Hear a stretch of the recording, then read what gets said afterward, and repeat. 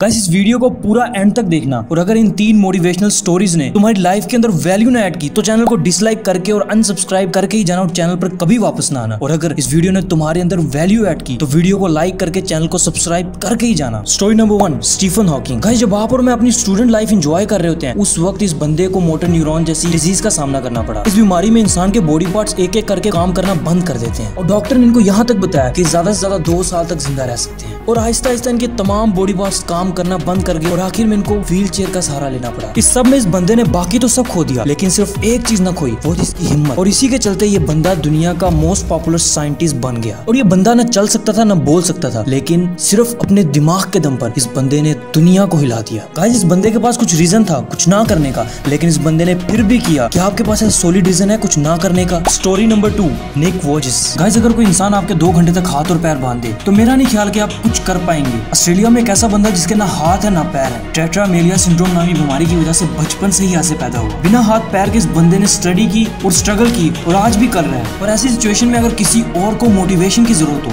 तो ये बंदा हाजिर है। और ये बंदा दुनिया के टॉप मोटिवेशनल स्पीकर में से एक मोटिवेशनल स्पीकर है। साठ से भी ज़्यादा कंट्रीज़ में अपने सेमिनार कंडक्ट कर चुका है और अभी भी ये बंदा लोगों को मोटिवेट कर रहा है। इसलिए तो कहते हैं, दोस्त ना कामयाब होने के लिए हज़ार ही बहाने से, लेकिन कामयाब होने के लिए सिर्फ़ एक ही रीजन काफ़ी है और तुम्हें उस रीजन को पकड़ना story number three Colonel Sanders पाँच साल की उम्र में अपने बाप को खो दिया और बचपन से ही अपने घर की जिम्मेदारियाँ उठानी पड़ी। नौकरी के लिए दर दर की ठोकरें खानी पड़ी। शादी के बाद बीवी छोड़कर चली गई। बिज़नेस स्टार्ट किया। वो भी बंद हो गया। पैंसठ साल की उम्र तक सिर्फ़ पेट पालने के अलावा और कुछ भी नहीं किया। और उसके बाद अपनी गलतियों से सब कुछ सीखते हुए एक ऐसी कंपनी बना डाली, जिसकी ब्रांच आज पूरी दुनिया में खुली है। जी हाँ दोस्तों, मैं बात कर रहा हूँ यहाँ पे के के फाउंडर कर्नल सैंडर्स की, जिसकी कंपनी की ब्रांचेस 118 कंट्रीज़ में और ये कंपनी साल का खरबों के हिसाब से कमाती है। इसलिए तो कहते हैं दोस्त, दुनिया में कुछ ना कुछ ऐसा कर डालो कि लोग आपको मरने दम तक याद रखें और मरने के बाद भी याद रखें।